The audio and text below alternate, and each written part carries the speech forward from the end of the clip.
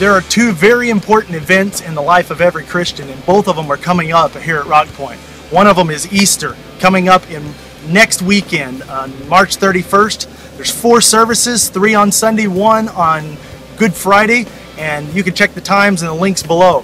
The other event is baptism, and that's coming up the week after Easter on April the 7th. Two incredible events in the life of every believer that I want you to be a part of. If you've never been baptized, then take the step. It's your next step towards God, and I hope you'll take it. You can sign up at one of the links below, and uh, we're going to have a great time both at Easter and the celebration of baptism. Hope to see you this Sunday. My friend Jay Mayo is speaking at RockPointe. You won't want to miss that, either 9.30 or 11. We'll see you there.